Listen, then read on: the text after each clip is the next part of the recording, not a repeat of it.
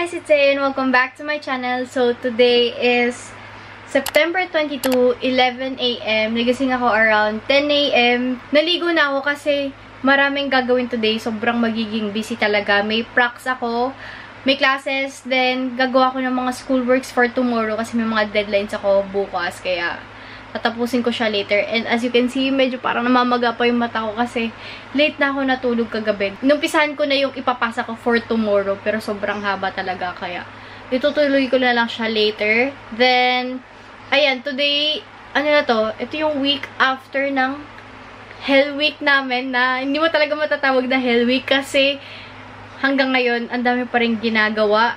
Ayun pala, I just wanna share kung ano yung nangyari nung Hell Week namin. So, yung exams week namin, simula siya Monday until Saturday. Then, per day, isang subject lang siya. Pero, may lecture, then may laboratory na exam. So, magkahiwalay yun. Then, ang nangyari nun guys, sobrang lala kasi halos wala talaga akong tulog. Para everyday, ang tulog ko lang 4 hours. 2 hours sa morning, then 2 hours sa gabi. Kasi sobrang haba ng mga reviewer. Yung iba nga, hindi ko pa natapos kasi ang haba talaga. Pero, ayun, thank God nakapag-push through naman ako. And, ayun, nakapasa naman ako.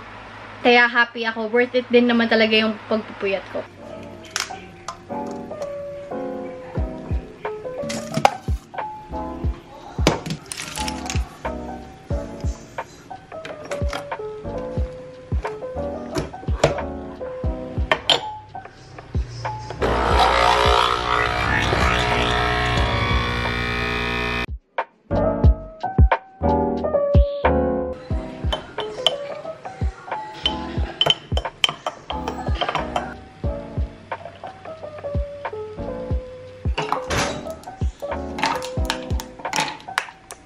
Ayun pala, um, gusto ko ipakita yung desk, desk ko kung saan ako nag-aaral. Ayan yung coffee ko na ginawa. Then, ito, may phone holder lang ako dyan, phone stand.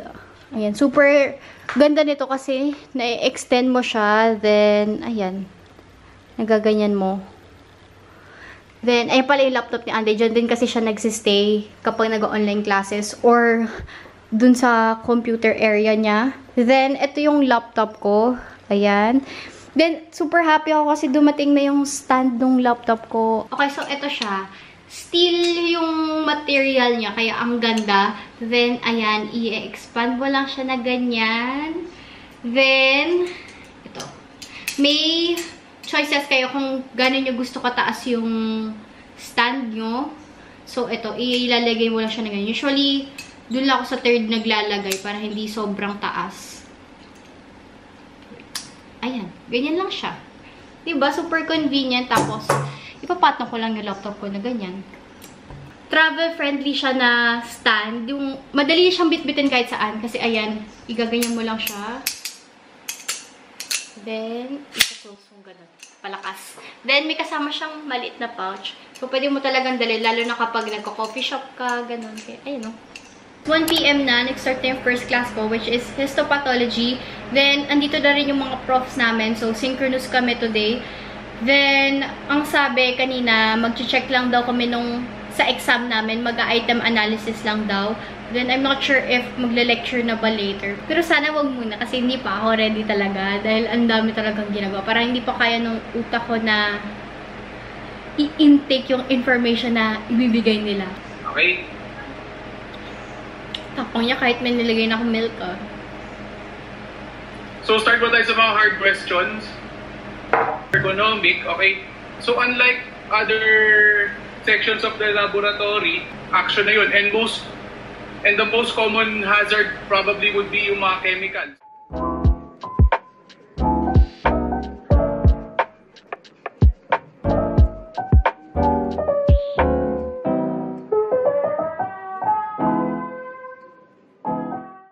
Hey guys, so kakatapos lang ng pracs namin and wala, wala akong masabi kasi sobrang hirap. Hindi ko alam paano babawiin yung score ko doon. And ngayon, nagluluto na si mama ng pasta. Hi! Anong niluluto mama? Spaghetti. Anong pasta?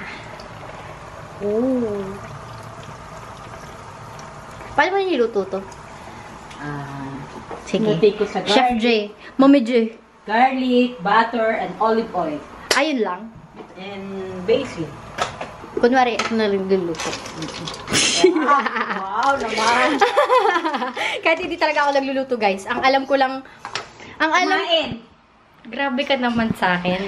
Kumain at maghugas ng plato. Ayun Naatak. naman. Naghuhugas naman siya ng plato. Hindi, ang alam ko lang lutuin, ramen. Ramen, no? Yung Hotdog. sarili niyang pagkain. Hotdog, bacon. Hotdog, bacon. Ano po ba? Yun lang naman, yung mga lang. madali lang lutuin. Mas maano pa magluto si Andre. Eh, trip niya kasing magluto. Oo, si Andre usually talaga nagluluto. Andre mahilig magluto. Ako kasi busy talaga, kaya hindi ko Si naisip ang din, walang magluto. hilig. Pero pag nagka-free time ako, tatry ko mag-aral. Ngayon, hindi talaga kaya kasi super busy. Grabe yung pawis ko. Sobrang init. Dali lang naman mag... Oh my God! Sarap!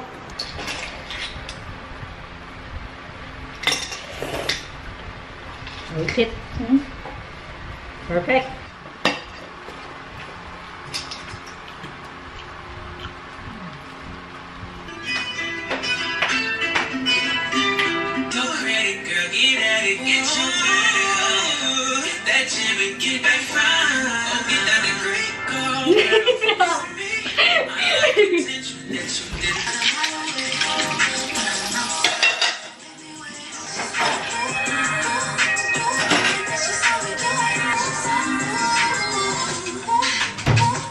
Bago ako mag-start nung sa worksheets ulit, I mean, bago ko siya ituloy ulit, magbe-break time muna ako. So, ang gagawin ko is magsi-COD ako dahil ang tagal ko na rin hindi naglalaro kasi nag-exam week nga and before na exam week, ang dami rin ginagawa kaya halos hindi rin ako nakapag-COD. So, na-miss ko talaga to.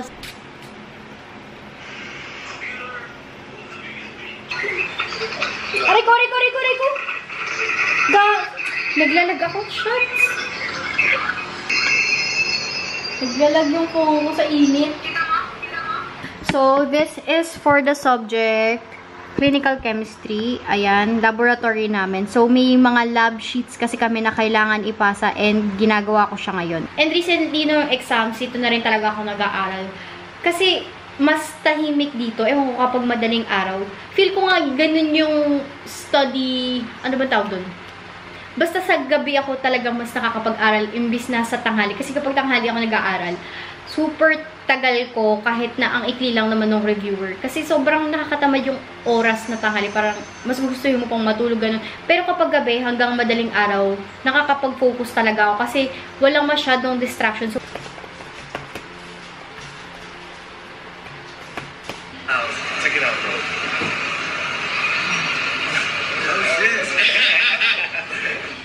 So, it's currently 12.08 a.m. And halos kakatapos ko lang gumawa ng mga worksheets ko. And like I said kanina, may pracs pa ako tomorrow. Pero hindi ko alam if aaralin ko na ba siya mamaya or sa morning na lang para magpahinga muna ako. And yung kanina, ba sabi ko, nag-self-care time ako which is yung pagsi-COD ko. So for me, part siya ng self-care time ko kasi isa siya sa mga bagay na gustong gusto kong ginagawa and nagpapatanggal siya ng stress ko. And I think deserve ko naman bigyan yung sarili ko ng self-care time kasi wala akong ibang ginawa kundi mag-ACADS. As in the whole day, puro ganun lang yung pahinga ko lang is yung lunch, dinner, tapos yung paglaro ko saglit. So ngayon, maglalagay ako ng face mask and super excited talaga ako pag naglalagay ako ng face mask kasi somehow nawawala yung stress ko. Kahit na simpleng bagay lang siya, alam mo yun, somehow inaalagaan mo yung sarili mo. Kahit na nabugbog ka today, parang yung pag-face mask ko yung nilulook forward ko kasi yun yung time na nakakapagpahinga ako. Ayun, I just wanna share with you guys the face mask that I've been using for quite some time now. So, I've been using this Teamy Butterfly Beauty Mask. And, bago ko siya i-apply, tignan nyo muna yung skin ko. Ang daming redness. And, ayan, kita nyo naman may pimple ako dyan. Bunga yan ng pagpupuyat ko ng exam week. Tapos, ito, yan, may redness ako dyan. Then, guys, hindi ko alam anong meron sa area na to.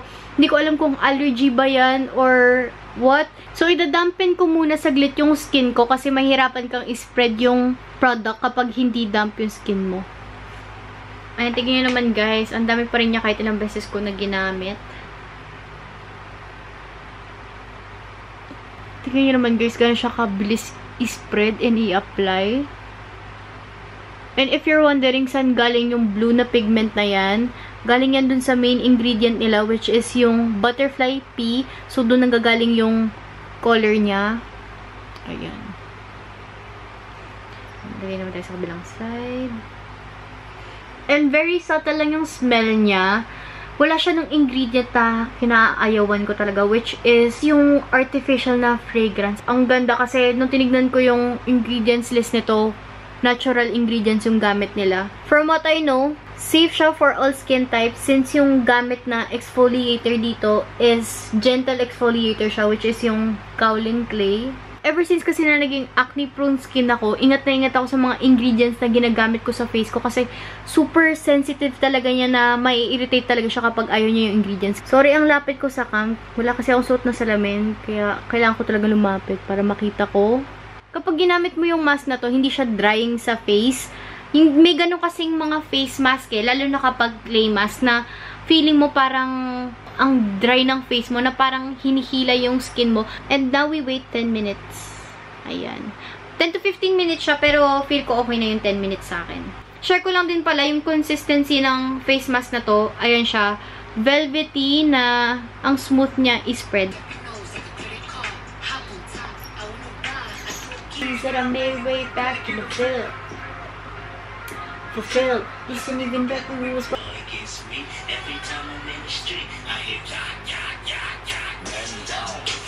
So we got there when you read the first rainbow, your story said, if I'm late for the intro, mm, I'm just having fun with it. What a shame. If you would mind, you would not get the same. If you would mind, you would top everything.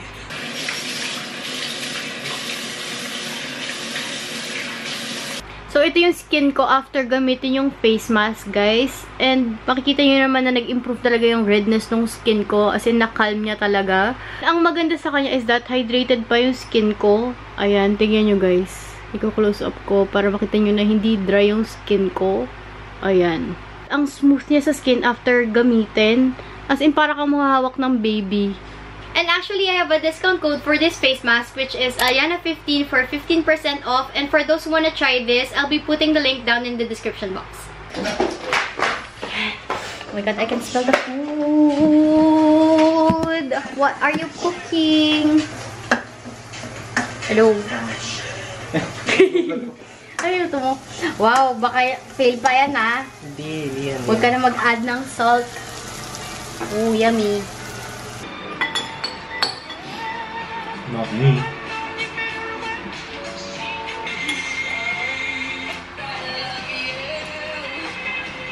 So, tapos na kami mag-midnight snack. Thank you, Dre. Akit na ako. Night. Okay guys, I think that's just about it for this video. Yun lang talaga yung routine ko kapag nag-online classes. Talagang nagbe-midnight na kami ni Andre ng around 1 to 2 a.m. And ayun, I hope you guys enjoyed this one and I'll be seeing you in my next one. Bye!